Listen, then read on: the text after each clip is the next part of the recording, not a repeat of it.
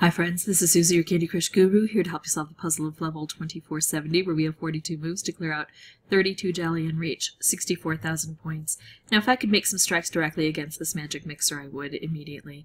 I can't, and so then I have to look at what my best next best opportunity is, and I've got coconut wheels that can help me.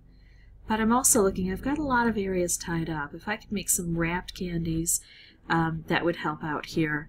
I see an opportunity maybe for a red to drop in. Yeah, it wasn't a likely scenario, but still, um, I thought it best to go for that opportunity. Now I'm going to try to open up the things down here, looking at all of my options, trying to anyway. Uh, the things down here that are going to help me uh, get through to these coconut wheels.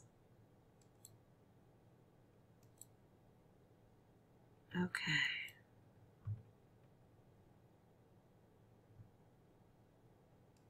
And take out other things. I have a lot of work to do here. Nice. Okay, I'm going to set this off, which is even better than a coconut wheel.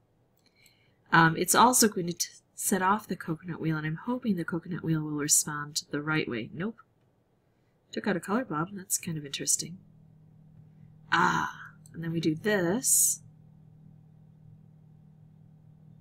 So we get some nice stripes here all the way up. And now all of the chocolate is unwrapped from those licorice cages. I still can't make anything directly here. But let's see what I can do. Can't scooch that over.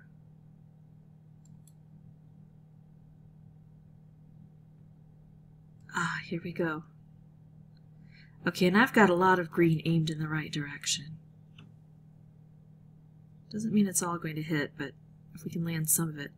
I swear it didn't get hit by anything, even though I had one directly there with no place to go. That's what it feels like anyway. Alright, there we go. So now I've got 21 moves to play cleanup. It's not a sure thing. I don't want to take a good board and totally spoil it by making some really stupid moves. Uh, this is still going to be a little bit tough to reach. I'm hoping with, you know, as many moves as I have, though, it won't be impossible. I don't have a lot of good moves in here. Here we go. Now, that's a color bomb that I can't control, but it still does take out a color and therefore concentrates everything else on the board allowing me to reach in.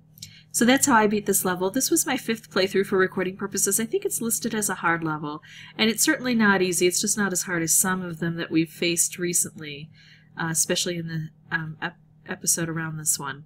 So if you'd like to see more videos, you can subscribe, and as always, thanks so much for watching.